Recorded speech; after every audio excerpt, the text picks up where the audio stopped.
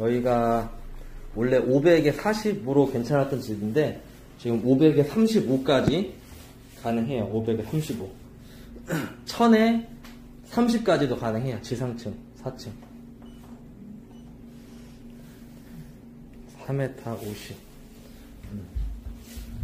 요 침대는 옵션인가? 예전에 침대 같은 거 없었는데 2m 40 이렇게가 2m 45. 저 벽까지 한번 재볼까?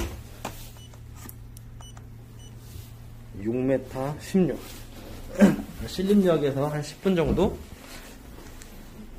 건물 연식은 좀 있고 앞에 북향이긴 한데 앞에 막힌 게 없어가지고 어, 북향이지만 막힌 게 없어서 채광은 괜찮을 것 같아요.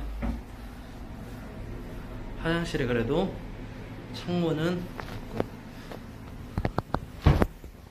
자, 음.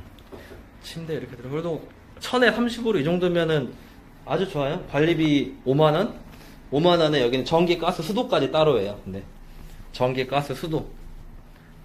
근데 수도세 어차피 한 만 원 정도 나올 거라서 어, 괜찮아요. 어, 여기 좋다. 이 호수가 좋네. 방향이 창문 열었을 때 뻥 뚫려 있어서 이 호수가